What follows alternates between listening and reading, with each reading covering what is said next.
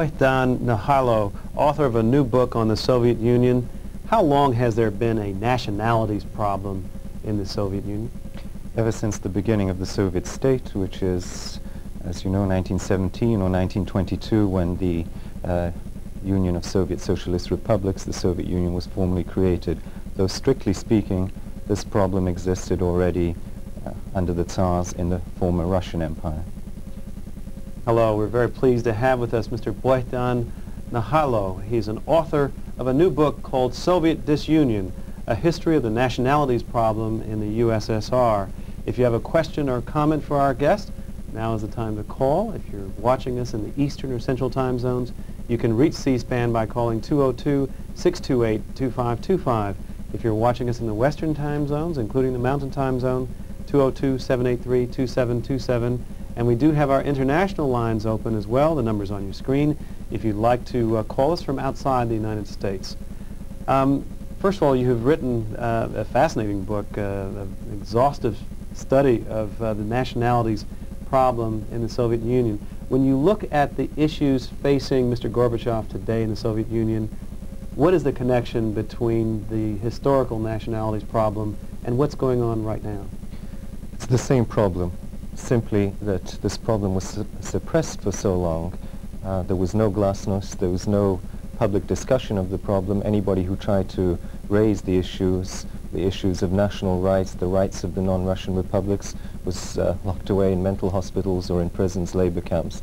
And it's only since Gorbachev uh, relaxed censorship that all these pent-up frustrations, grievances and aspirations have come to the surface again. When you say uh, Soviet disunion, as uh, your book suggests. You, you talk a lot in this book about the difference between Russia and the Soviet Union. What is the difference? Well, the difference is that they're not the same. Uh, Russia is the largest nation out of about uh, a uh, hundred different nationalities that make up the population of the Soviet Union. Uh, there are 15 large groups that have their own union republics, states, sovereign states on paper, in fact. And the crucial thing to remember is that of the 285 million people that inhabit the Soviet Union, 140 million plus are non-Russians. Uh, are non-Russians. Uh, so that the Russians themselves, strictly speaking, make up barely half of the population of the Soviet Union. And a Russian uh, has very little in common with, say, a Turkic-speaking, traditionally Islamic uh, or Muslim Uzbek, for example, or, for example, an Estonian or a Latvian or for example a, uh, a member of one of the uh, far northern Eskimo peoples uh, that inhabit the Soviet Union. It's a very vast country, one-sixth of the world's landmass, and uh, what is forgotten uh, in the West is that it is the last of the great empires. I think many Americans may have heard of the names of many of the different nationalities within the borders of the Soviet Union, but the cultural differences are quite uh, stark, as you point out in your book. Can you share a few uh, examples for us of the cultural uh, rainbow and, the, and, some of the differences? Well, the core of the Soviet population is made up of three Slavic peoples, the Russians, the largest group, as I've said, who have been the dominant group. Their language, culture, and values have been forcibly imposed on the others. The Ukrainians, the largest of the non-Russian groups, about 50 mil 52 million in their republic. That's a lot of people.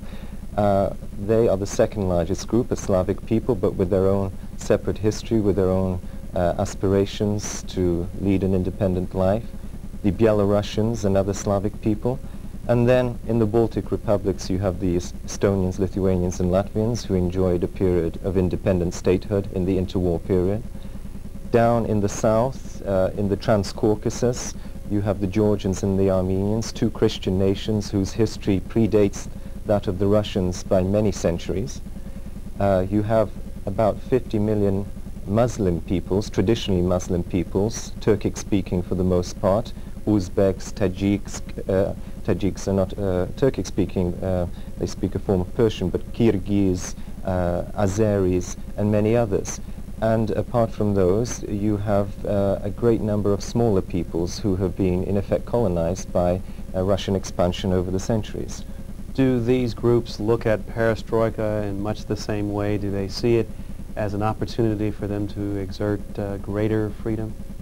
Inevitably, uh, one of the first uh, reactions to glasnost was to try and take it at face value uh, by the non-Russians. The non-Russians immediately started pressing for the restoration of their rights. Now this is something that we saw in a more modest form already after Stalin's death, even under Beria when he made a, uh, the secret police chief who made a play for power in 1953. Even then the national question surfaced briefly. Certainly Khrushchev for a very brief period between 1956 and 1958 when he tried to distance himself from the Stalinist uh, heritage, he too loosened controls in the national sphere and these sorts of problems began to emerge. But by the end of the 50s, controls were tightened and the emphasis was placed on integration, Russification, that is the imposition of the Russian language, uh, theoretically or ostensibly for internationalist reasons, uh, in the sense that every uh, truly progressive person wanted to speak Russian, and because uh, for a cogent uh, practical reason that Russian was uh, described as the lingua franca of this multinational entity. But of course this was done at the expense of the non-Russian schools, of the non-Russian cultures. And what we have to remember is that this uh, empire was built on the promise that this would be a new model type of society, a socialist society, which would bring equality of all the peoples and races, and that there would be no discrimination and certainly no one dominant uh, nation. And in practice what happened is that uh, almost immediately, and Lenin even recognized this on his deathbed, that the Russian uh, group, the, the dominant force, began to dominate, began to impose their own values, their own culture, their own way of looking at the world, and uh, in effect, loyalty to the Soviet state became uh, equated with loyalty to the Russian imperial idea. In case you've just joined us, we're visiting with Bohdan Nahaylo, who is an author of a new book on the Soviet Union called Soviet Disunion, A History of the Nationalities Problem in the USSR. Uh, if you have a question or a comment, our telephone lines are open and the numbers are on the screen. Um, I'm curious to know how, in your opinion, the Soviet Union or this empire that you've been describing has held together with all these divergent groups? Well, it's held together first and foremost because it was welded together by force. Let us remember that between 1917 and 1921, the Bolsheviks actually used force and conquest to weld together what had become a fragmented empire, the empire of the Tsars. And then Lenin realized that force alone was not enough to hold this territory together. And so all sorts of promises were made and concessions. And in fact, uh, the non-Russians were offered, in effect, a deal which recognized their rights uh, in the Soviet constitution. They were guaranteed, in effect, the right to have their own sovereign states within a Soviet federal structure. This, for the time being, was enough to more or less placate the non-Russian communist elites because the the non-communist elites were wiped out in the 20s. And so for a time, the system functioned more or less uh, fairly smoothly, and the non-Russians, even in the 1920s, made quite a lot of headway in consolidating their positions as national groups. But by the end of the 1920s, Stalin drastically uh, shifted policy. That was the period of collectivization, the beginning of the purges, and one of the ways in which he shifted policy was to crush the non-Russian elites and to more or less uh, begin backing the Russian-minded, uh, the more chauvinistic bureaucracy uh, that became the backbone of, of the Soviet uh, state. By the end of the war, when there was hope that perhaps after the victory over fascism, Stalin would relax things and that the worst was behind the Soviet population, the purges and the, the bloodshedding. In fact, he stepped up the pressure on the non-Russians, uh, the famous campaigns against the Jews in 1946-47, the uh, campaigns against Ukrainian nationalism and whatnot, so that by the time of his death in 1953, the non-Russians had been reduced to a very sorry state. They had the formal trappings of statehood, but it, all this was reduced to a kind of recognition of their uh, folksiness, a quaint regionalism, but certainly there was no political clout left uh, in their hands. St. Louis, Missouri, you're the first phone call. Go right ahead with your question or comment. Yes, I wanted to ask your guest this. Uh, uh, I have just been in the Soviet Union and toured a number of cities there, uh, one of which was Tashkent, uh, the capital of Uzbekistan. And I talked to the uh, uh, some members of the faculty at the law school there, including the dean, and I was rather disturbed by their recent conversion to their native language and uh, uh, backing away from the Russian language. And I suggested to them in conversation that I thought maybe this was uh, not a very good idea. Uh, secondly, uh, I found a rather alarming uh, ignorance, I would say, of sort of basic economic principles there, and I wonder if your guest uh, would care to comment on that. Well, certainly, uh, I'd like to comment. I, with all due respect, I think that's a very condescending view of the Uzbeks. This is a very large nation, the third largest group, and uh, it's not, I think, for us to say that uh, their traditional lifestyle is somehow obsolete or not in keeping with the needs of the Uzbek people. I think that we certainly wouldn't apply this kind of standard to the blacks in South Africa, for example.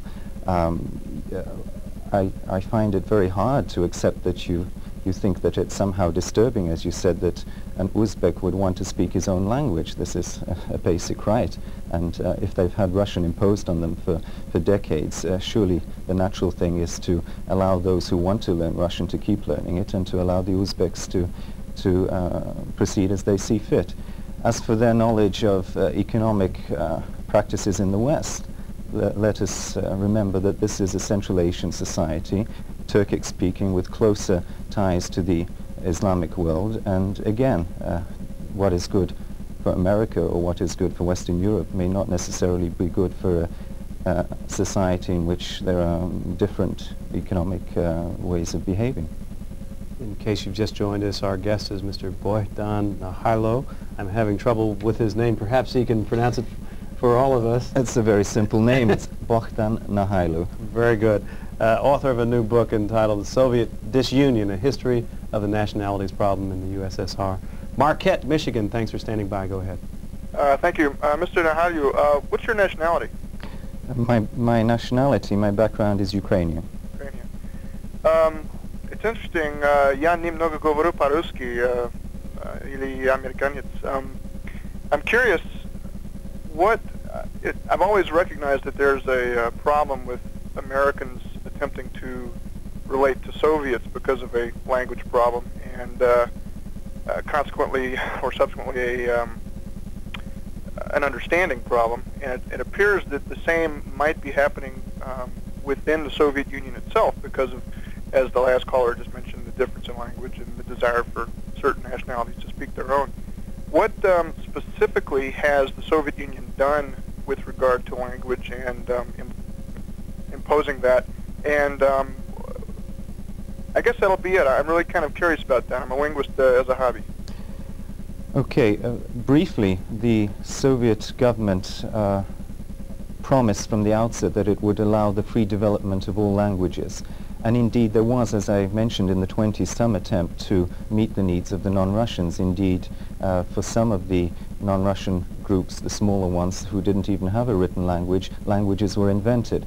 But this began to take on more perverse forms, uh, in my view, by the end of the 20s, when languages, when entire groups were forced to go over from their traditional scripts to, say, either the Latin script or to the Cyrillic script, the, the script in which the Slavs write.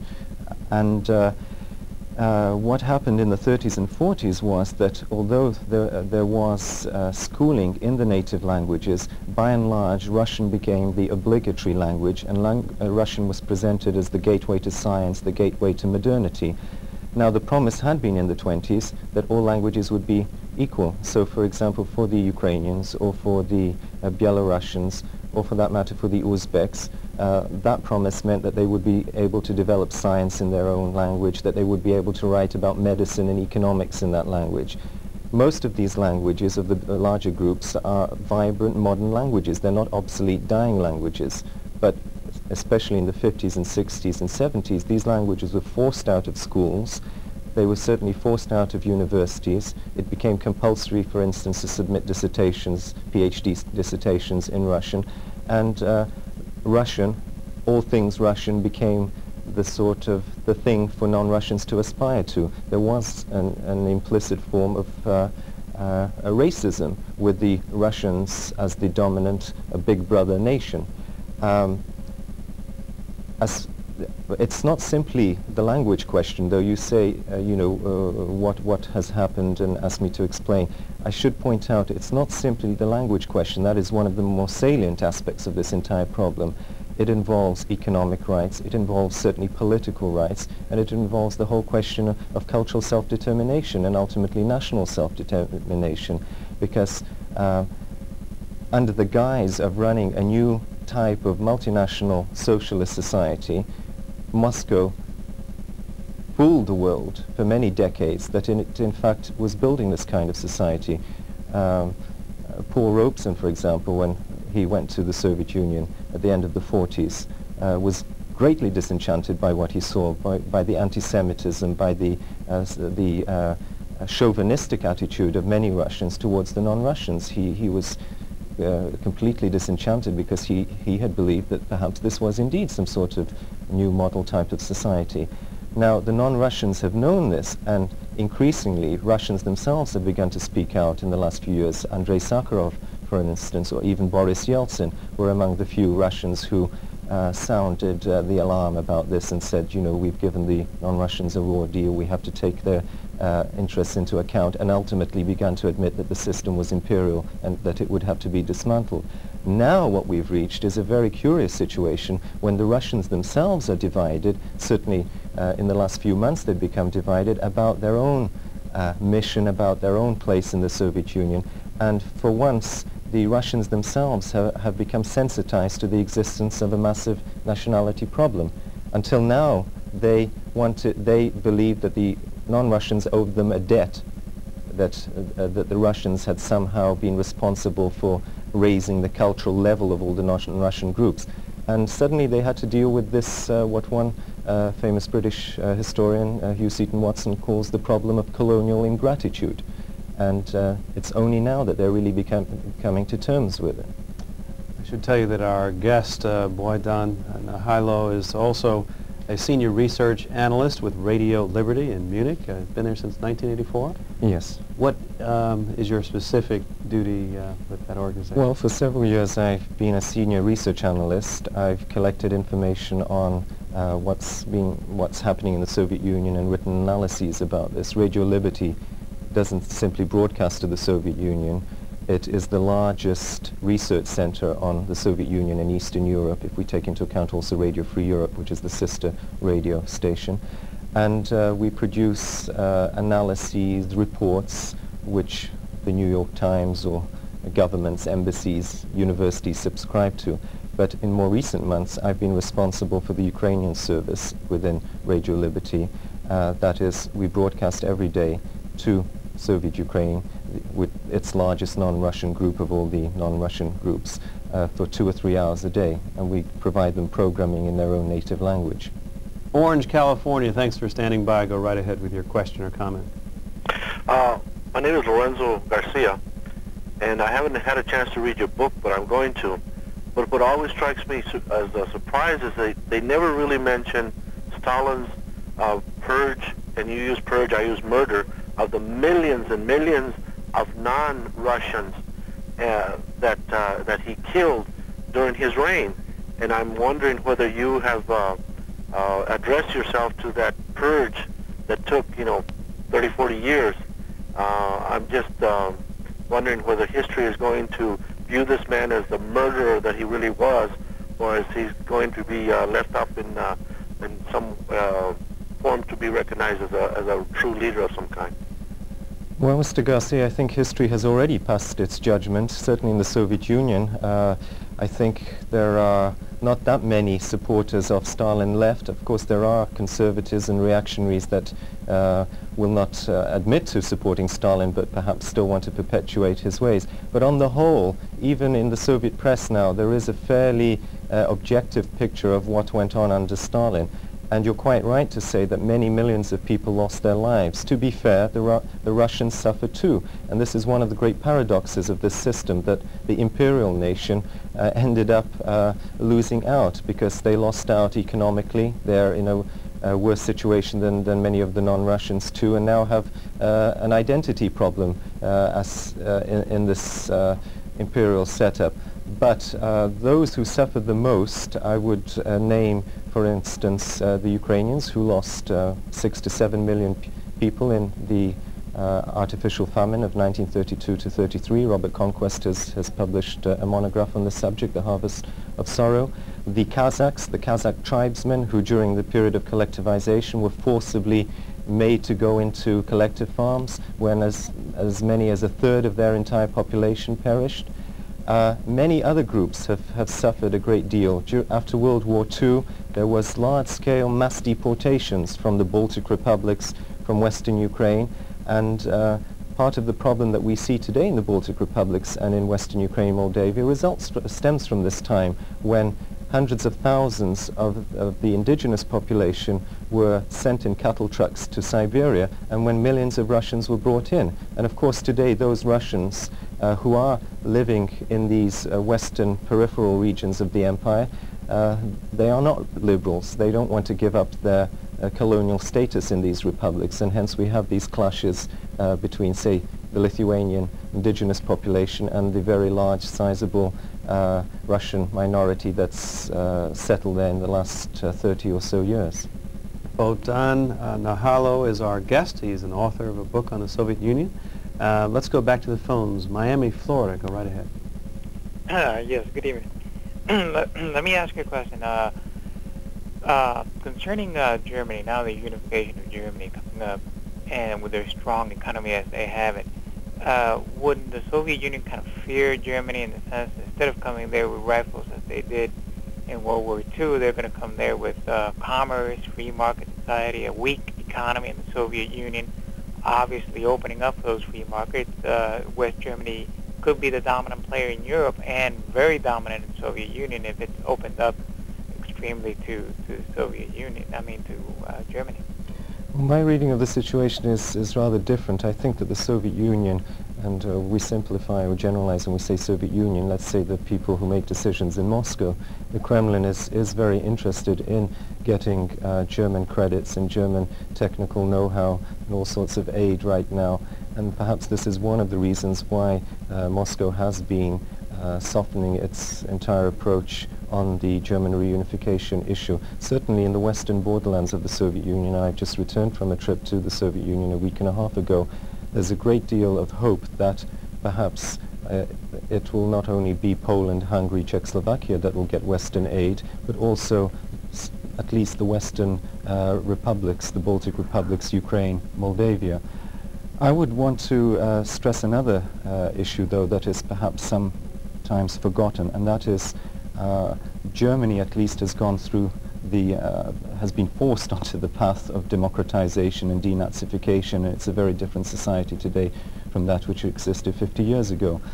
It's this, this process is, as we see, a much more difficult one in the Soviet Union, and uh, the process of de-Stalinization has not gone quite as far as denazification went in, uh, the, uh, in, Germany.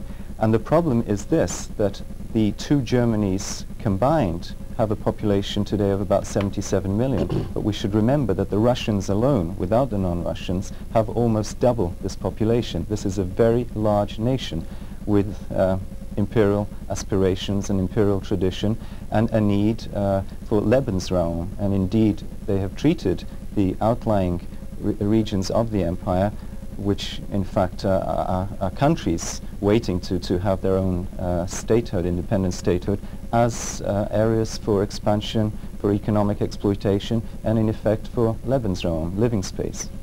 Seattle, Washington, go ahead with your question or comment.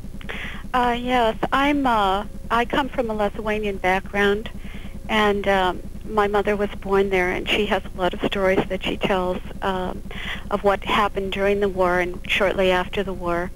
Um, my comment to you is that um, in during history, most of the imperial countries who conquered uh, other other countries were usually thought of by those countries as having a superior culture and having um, you know greater economic advantages. And most of the non-Russian nationalities don't see Russia in that sense. You know, they see it as, as almost a backward country and having a backward culture. And I don't think that they've ever really um, looked to them the way that they do to, or the way that other countries have always looked to, to um, an imperial imperial conqueror.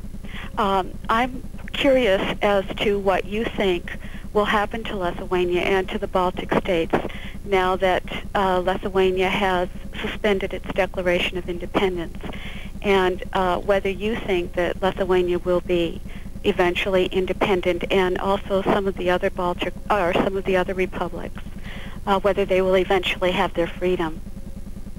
Well, I, I think that uh, what we're seeing is the uh, gradual and ever faster process of imperial uh, decay and the crucial question is, will it be a process of peaceful dismantling of the empire, or will it be one of chaotic disintegration?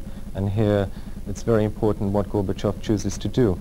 I think the fact that Lithuania has been forced by economic pressure to yield temporarily has by no means solved the problem. It has simply thrown the ball back into Moscow's court, into Gorbachev's court, and now he has to come up with some sort of uh, really good solution, and there are no really good solutions. The Lithuanians want out, and so do many of the other non-Russians now.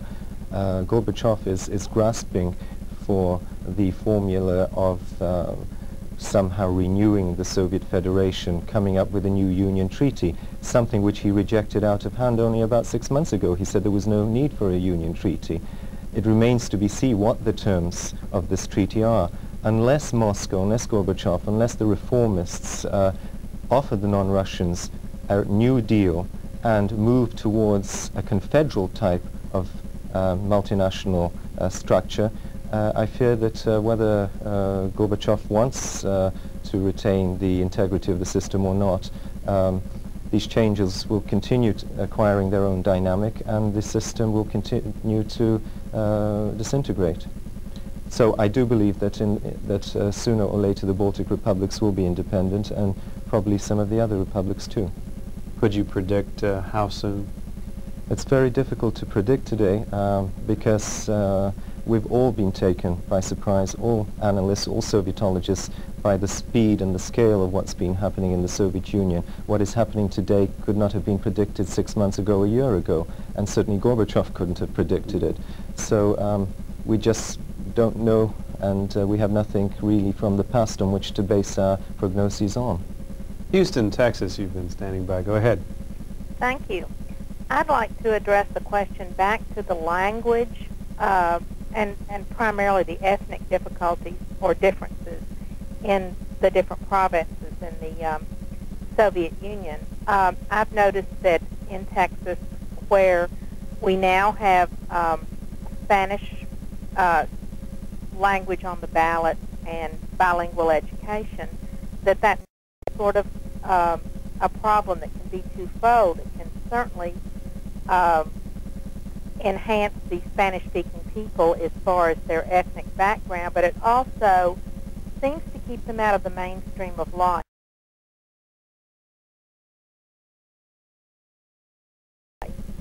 Yes, they can vote. Uh, yes, they can they can go to school at some level, but they can't progress into the mainstream of life, into the business part of the world. And I would like for you to speak to that with the, as regard to the Soviet.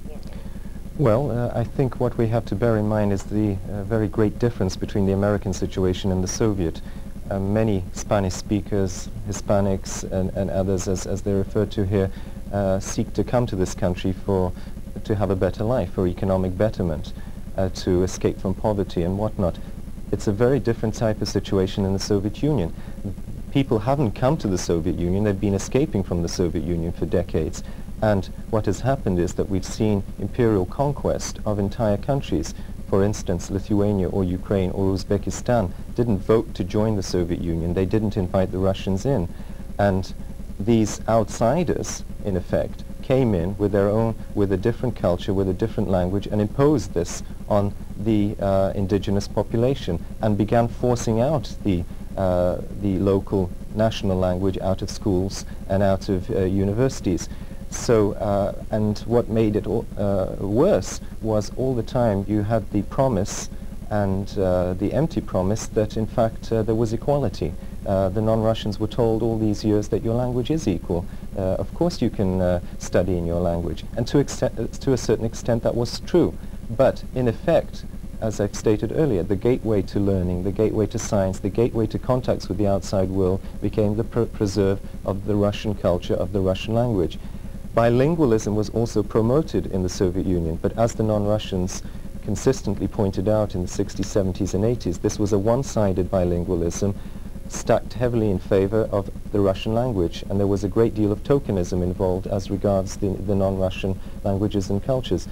And just to give you one example, during a period of uh, cultural revival in Ukraine when the party authorities at the end of the 60s and early 70s the local party authorities backed the cultural intelligentsia, the Ukrainians produced the first encyclopedia of cybernetics in the Soviet Union in the Ukrainian language, which goes to show this is not a dying language, it's not some sort of, uh, for instance, um, without any uh, offense meant to the Welsh. It, it, it, one can't compare it to a language that perhaps doesn't have the support of the majority of the population. But uh, when a purge took place in Ukraine in 1972-73, one of the first things that the central authorities did was to, to stop the publication of uh, journals about physics, about mathematics, about economics in the Ukrainian language.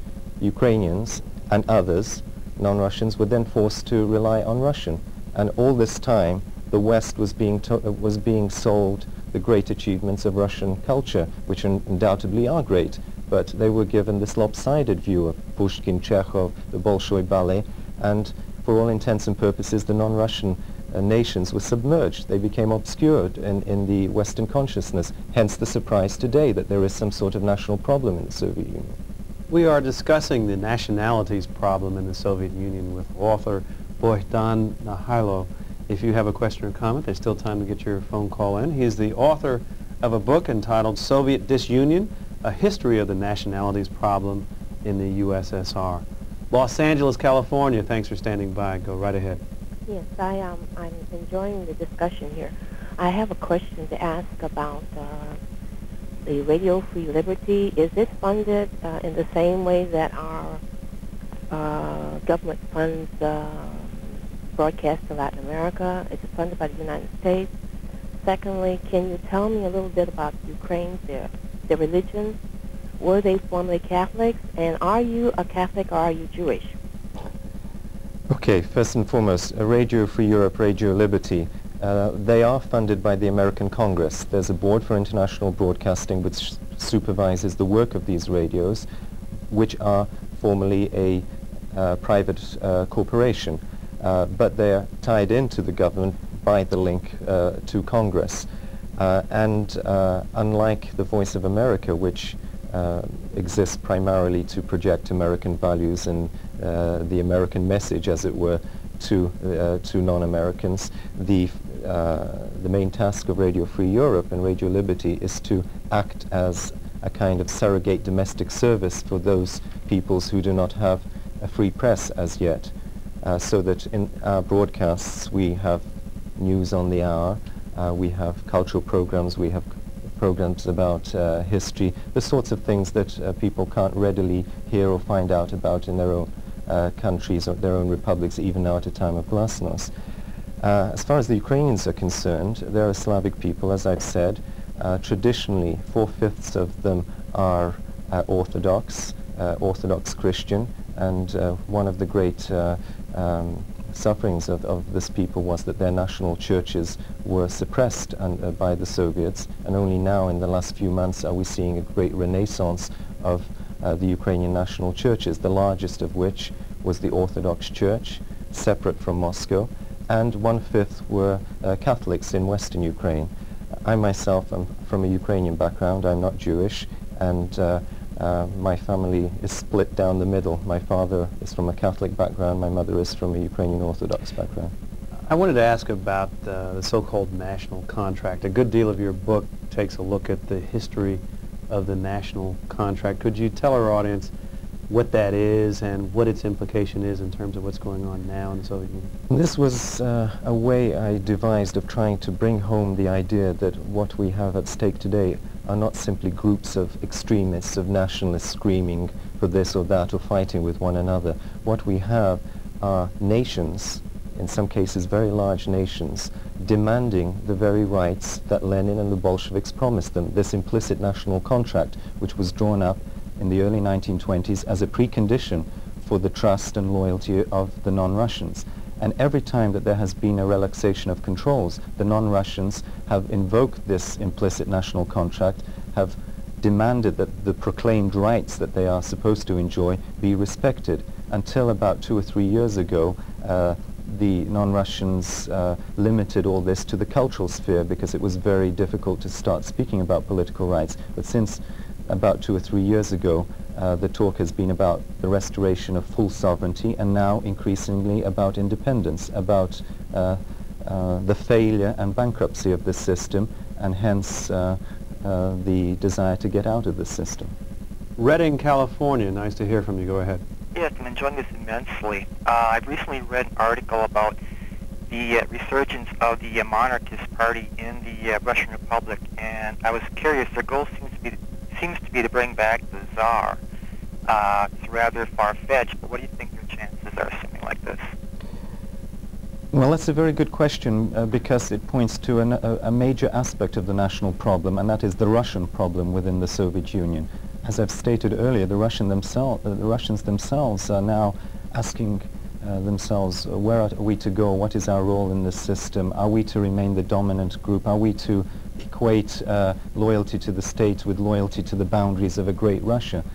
And uh, of course there is a fairly significant force that wants to rely on old Russian traditions, on the monarchy, on old imperial values. Uh, perhaps the most in my view, reprehensible form of this is the Pamyat organ organization, which is very chauvinistic, very anti-Semitic, very intolerant of other non-Russian groups. Uh, there are, of course, more liberal uh, expressions of Russian nationalism, but until now it's been very unclear whether, uh, they whether this uh, tendency represents uh, a sizable following. it seems or traditionally it's been the case that the Russian imperial mentality has had the upper hand. It's only recently that people like Sakharov, Yuri Afanasyev, Boris Yeltsin and others have, uh, have, shall we say, developed a more liberal form of, of Russian patriotism and Russian nationalism, one which is pro-Western and which is tolerant of the non-Russians what has happened now is that we've seen in the last few months the Russians themselves actually asserting their own rights and as you know under the leadership of Boris Yeltsin in the Russian Federation the Russians have gone ahead and proclaimed their own sovereignty. What this is going to mean in practice still remains to be seen because Boris Yeltsin is on record as uh, supporting the aspirations and the political demands of the non-Russians. And yet now, increasingly, he'll have to, as a shrewd politician, harness this, this uh, exploding Russian patriotism and uh, deal with the question of what shape and what size Russia and the Soviet Union is going to be in the future. Galveston, Texas, you're the final caller. Go right ahead. Mr. Nahaylo, for years I've been hearing that uh, the Jews have been discriminated against in the Soviet Union, when actually in reality they were the backbone of the Bolshevik Revolution. And in my contact with many of them here in the United States as immigrants, I found out that actually they were well-to-do. Consequently, they had, relatively speaking, they had better standard of living than average Russians. Now, one we don't hear about actually that really being discriminated against has been the Muslims in the Soviet Union, and there are over 50 million of them or what, whatever. And just to give you one example, right now we are in the middle of the pilgrimage to Mecca, where there are about three to four million Muslims right now from all around the world uh, visiting or making their pilgrimage to Mecca, and that is a requirement for every Muslim for once in their life to make that pilgrimage. And I'm not aware of really any Muslims ever being permitted from the Soviet Union to make it to this, to the Holy Mecca. And unless maybe a few of them, you know, slip through the borders through Iran, maybe through Afghanistan, and I'd like to have your opinion on that. Well, let's start with the first part briefly. Uh, I think that it's uh, not accurate to say that the Jews have not been discriminated against. There has been a great deal of anti-Semitism, in some cases uh, barely concealed official anti-Semitism. And uh, of course, those Jews who threw their lot in with the Soviet system in the 20s and 30s did well and suffered during the purges along with others. But certainly after 1946, 1947, the Jews did become a target of anti-Semitism, which uh, was stoked up from time to time by the authorities. And this is a serious problem, and hence uh, we've seen this major uh, push by the Jews in the 70s for emigration. But I quite agree with you that uh, the Muslim problem, the Islamic problem, has been uh, overlooked in the West uh, the, because primarily the, uh, the mu traditionally Muslim peoples have not had a ver very good spokesman, they've not had a strong lobbies in the West, and their case has not really been presented uh, as well as some of the other groups have managed to present their cases. And these people uh, in the uh, Soviet Central Asia are now beginning to come into their own. They have demographic uh, factors on their side. They have a very high rate uh, of uh, population growth. Uh, which far exceeds that of the Russians or the Ukrainians and others. Um, they are increasingly becoming a major factor. They are also retrieving their cultural and religious background. Until now, only um, selected individuals uh, have been allowed to go to Mecca for pilgrimages to show that, uh, that, that uh, Muslims are not discriminated against. But there is a great deal of pressure now uh, which is forcing the, Moscow to uh, review its policy towards Islam. I'm afraid that's all the time we have. I want to thank you very much for being our guest. We've been visiting with Bohdan Nahaylo, author of a new book entitled Soviet Disunion, A History of the Nationalities Problem in the USSR. Thank you for being with us. Thank you, Ed. Thank you very much for your calls, and stay tuned for our next discussion. See you then.